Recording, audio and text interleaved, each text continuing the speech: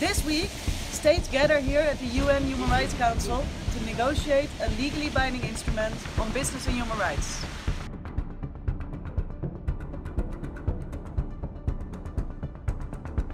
This week, members of Working Group 3 of the United Nations Commission on International Trade Law are coming together here in Vienna to continue discussions on the reform of the controversial Investor to State Dispute Settlement Mechanism or ISDS.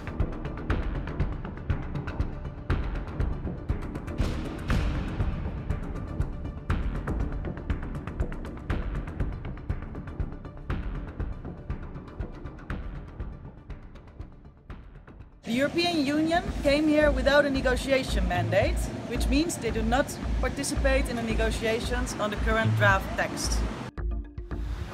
The EU works on the basis of a mandate that was given by the EU member states more than a year ago. The EU is also one of the driving forces behind the UNCITRAL process on ISDS reform.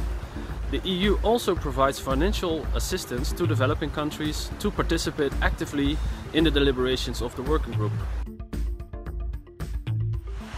There is no agreement among EU member states on whether we need binding rules that oblige businesses to respect human rights and to give affected people access to EU courts.